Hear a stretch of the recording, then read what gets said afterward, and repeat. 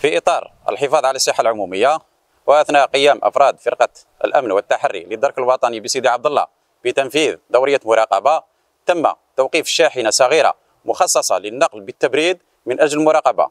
وبعد تفتيش الشاحنة تم العثور على كمية تقدر ب 4.5 قنطار من اللحوم البيضاء.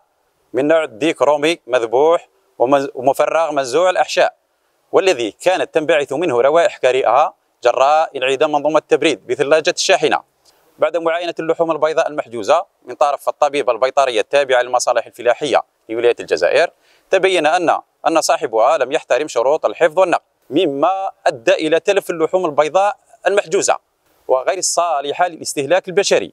بعد استيفاء جميع الإجراءات القانونية تم تشكيل لجنة بحضور ممثل عن رئيس بلدية المعلمة ممثلين عن المصالح الفلاحية لذات البلدية ممثلين عن مفتشية التجارة بزرالدا أين تم إتلاف اللحوم البيضاء المحجوزة؟